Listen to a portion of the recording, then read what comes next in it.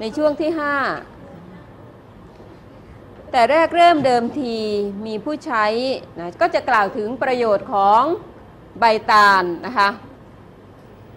ในช่วงที่ 5 กล่าวถึงประโยชน์ของใบตาล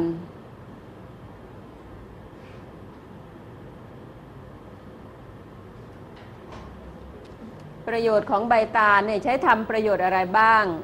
นะมาดูไปทีละวักนะคะ เขาเก็บใบมาสลักอักษรสารในสมัยก่อนนะหนังสือใบลานเคยเห็นไหมคะ ใช้ในการเขียนจดบทตำรานะใบลาน ใช้เขียนแทนกระดาษนะสรุปสั้นๆ ในสมัยก่อนใช้เขียนแทนกระดาษ เรียกว่ากระดาษใบลานนะคะเรียกว่าใบลาน สรุปสั้นๆนะสมัยปัจจุบันเอามาทำอะไรจ๊ะ สมัยปัจจุบันนี้เอามาทำนามบัตรนะคะ เอามาทำการ์ด เอามาทำนามบัตร ลงขอบทองนะตกแต่งให้สวยงามนะคะ เอาใบมาพิมพ์นามได้งามดี คือเอามาทำการ์ด เอามาทำนามบัตรนะตกแต่งให้สวยงามนะคะยากเกินไปไหม ยากไหมคะ ประโยชน์ของใบตาลมีกี่อย่างแล้วหนึ่งใช้เขียนแทนใบลานสองใช้ทำการ์ดทำนามบัตรนะคะ ผ่านนะ ถ้าใบแก่ล่ะคะ เอามาเย็บหมวกนะคะ ก็อาจจะใช้โครงไม้รวกเนี่ยมากุ้นนะกุ้นขอบแล้วก็ทาสีนะคะ ย้อมสีนะคะ หรือว่าเอามาทำพัดนะใช้พัดเวลาหุงต้มเนี่ยนะในสมัยก่อนบรรพบุรุษของเราเนี่ยจะไม่มีไฟฟ้าไม่ใช่จะหุงข้าวก็กดนะเสียบปลั๊กกดสวิตช์แป๊บหนึ่งรอได้แล้วนะปัจจุบันนี้นะสมัยก่อนเนี่ยก็ามาทำพัด เวลาหุงต้มก็ไปพัด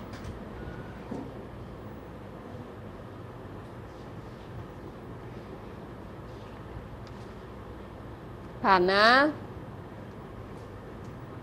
ส่วนของใบเอามาทำอะไรอีกคะ ในสไลด์นี้ เอามาทำ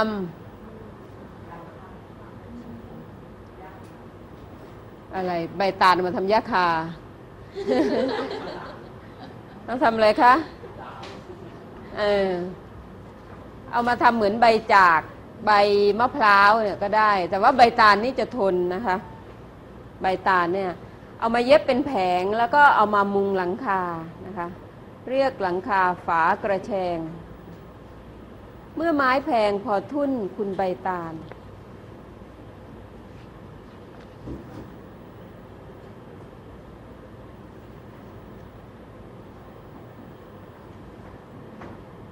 อ่าผ่านนะ ประโยชน์ของใบอีกอย่างหนึ่งนะคะ เอามาทอถักทำจักสารนะ เป็นเสือศาสตร์ใช้สะดวกหมวกใบตาลนะเอามาทำเสือ่อทำศาสตร์นะปูนั่งเนี่ยปูนอนเนี่ยนะคะ แล้วก็ทำหมวกหมวกใบตาล หรือว่าเอามาสารเป็นตะกร้านะคะ ไปซื้อกับข้าวก็หิ้วตะกร้าใบใบ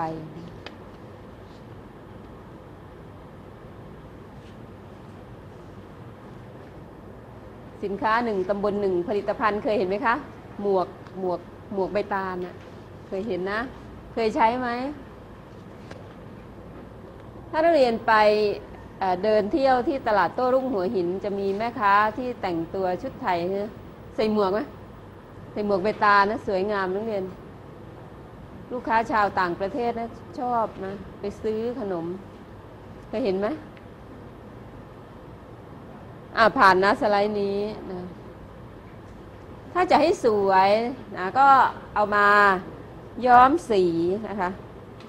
เพราะฉะนั้นประโยชน์ของตาลเนี่ยมีเยอะแยะมากมายนะถึงแม้ว่าเงินอยู่ในกระเป๋าจะไม่มีสักบาทเดียว แต่เรามีต้นตาลปลูกไว้เยอะๆนะกลัวกลัวตายไหมไม่ต้องกลัวตายอนอกจากนี้ผ่านนะสไลด์นี้ คุณใบตาลที่ดีมีแปลกๆนะ เอามาทำลิ้นปีนะคะ เป็นส่วนประกอบของปีนะทำลิ้นปี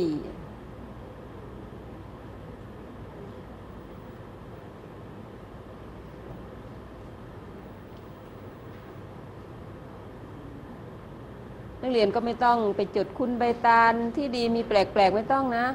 ในในช่วงที่เท่าไหร่ละจ้าช่วงเนี้ยช่วงที่ห้าประโยชน์ของใบตาลทำอะไรบ้าง เธอก็สาธยายมา สั้นๆนะในสไลด์นี้เธอก็บอกว่าทำลิ้นปีใช่ไหมคะ สไลด์ต่อไปทำอะไรจ๊ะ เศษใบต่างๆนะที่เหลือจากการ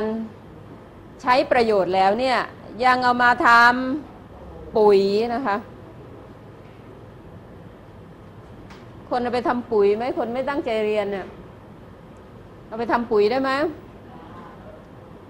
ได้เลยคะคิดเหรอว่าจะได้ปุ๋ยชั้นดี เป็นคนก็ไม่ค่อยมีคุณภาพ เป็นเอาไปทำปุ๋ยก็ต้นไม้ตายหมดนะอ้าวจริง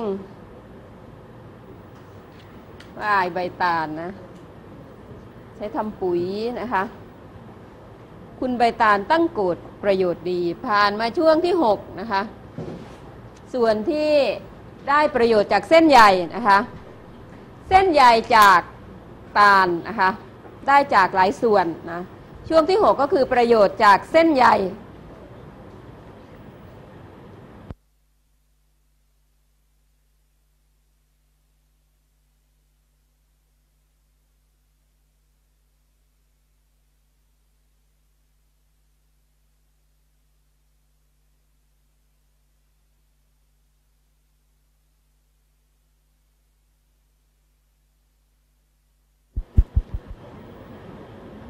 ประโยชน์ที่ได้จากเส้นใยนะคะ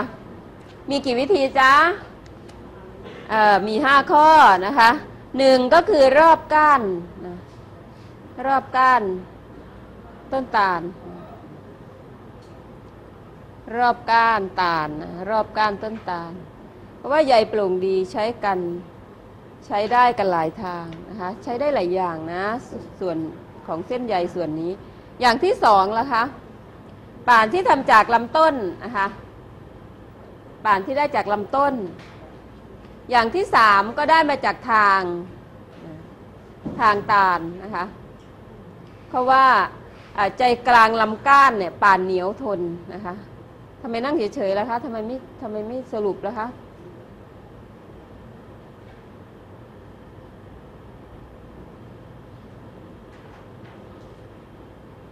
นักเรียนต้นทางอย่านั่งเฉยๆนะคะ นักเรียนปลายทางด้วยนะคะ สรุปตามนะ ได้กี่ข้อแล้วสามข้ออย่าง อย่างที่สี่เส้นใยจากใบนะคะ เส้นใยจากใบ อย่างที่ห้าก็คือเปลือกลูกตาลสุกนะคะ เปลือกลูกตาลสุก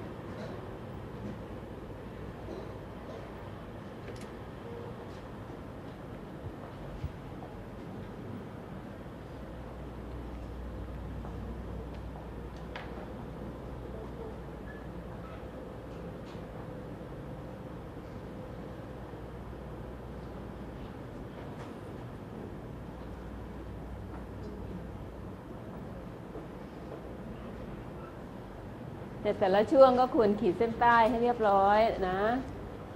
จะได้สังเกตได้ง่าย ครบหรือยังคะ ครบห้าหรือยัง ครบแล้วมาดูช่วงที่เจ็ดนะคะ ประโยชน์ที่ได้จากลำต้นนะคะ ประโยชน์ที่ได้จากลำต้น ช่วงนี้จะเร็วแล้ว เอามาทำอะไรได้บ้างลำต้น มาทำเรือนทำเรือนโรงโครงร่างก่อสร้างกัน มาใช้กับงานก่อสร้างที่เราได้เห็นอย่างเช่นทำเสาสะพานใช่ไหมคะ สมัยก่อนไม่มีคอนกรีตเสริมเหล็กนะ ก็จะใช้ทำเสาสะพาน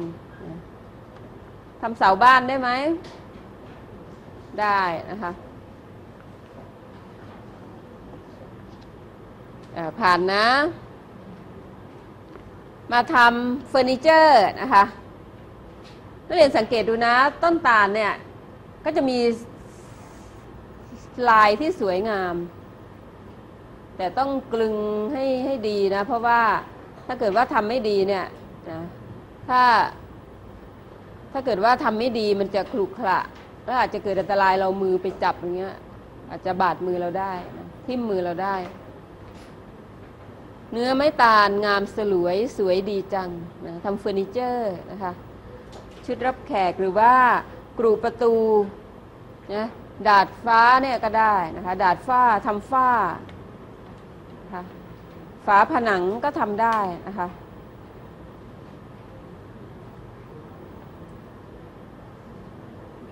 ทำเฟอร์นิเจอร์นะตกแต่งบ้านนะผ่านนะ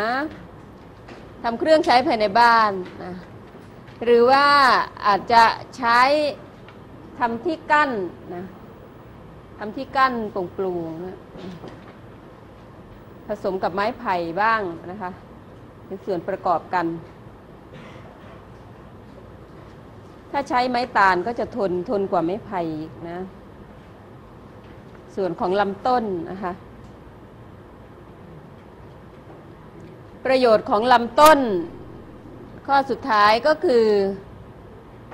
เอามาทำแป้งนะคะ ใจกลางลำต้นเนี่ยก็จะกรองเอามาทำแป้ง แต่ถ้าจะทำแป้งเนี่ยควรระวังตัดเมื่อยังไม่มีดอกจึงออกดีนะคะ ก็ต้องสังเกตตาลนะคะว่าช่วงไหนที่จะใช้ประโยชน์ได้ แต่ถ้าตัดตอนที่ยังไม่มีดอกเนี่ยก็จะได้แป้งจำนวนมากนะคะ นี่คือประโยชน์จากลำต้น